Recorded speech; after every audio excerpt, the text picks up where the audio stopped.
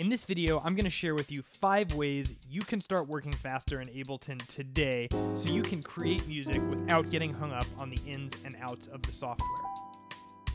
Brett Pontecorvo here at livekeyboardist.com, where I help keyboard players just like you with the ins and outs of Ableton, with learning, sound design, and with live performance tips and tricks. If you're new here, please consider hitting that like and subscribe button. But without further ado, five ways you can work faster in Ableton starting right now. Tip number one Eliminate distractions. According to a 2012 article called The Myth of Media Multitasking, research consistently confirms that multitasking impairs task performance. So that means make sure that you put your phone and computer on do not disturb mode. If you can, disconnect from the internet, close the door, and really allow yourself to focus on what you're doing. Tip number two start from a template. Much of the work that we do in Ableton is very similar from time to time, so there's no reason to re drag in the same files over and over again. Ableton allows you to have one template that will always open when you load Ableton and as many as you want in the user library. And I've got a full video about this above, but my template has a piano sound straight away so I can get to creating without having to do any work.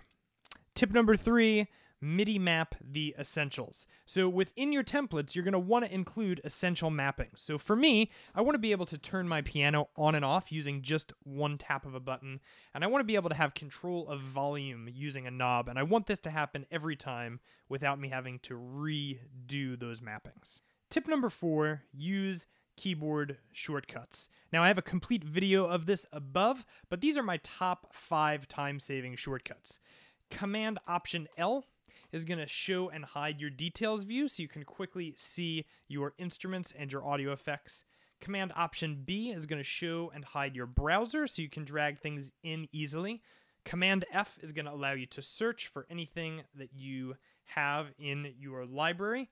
And Command G is going to group anything that you have selected so you can quickly group a track, or if you desire, you can group different devices to create audio effects racks, instrument racks, and MIDI effects racks quickly. Tip number five become an expert, or in other words, practice. There are multiple ways to do things in Ableton Live, so as you spend time in the program, you're just naturally going to become faster, and it's going to allow you to make decisions about which way will actually be the fastest and most efficient way to do it. Now, if you got value out of this video and you want to go deeper, you can actually book a private session with me from the link in the details below.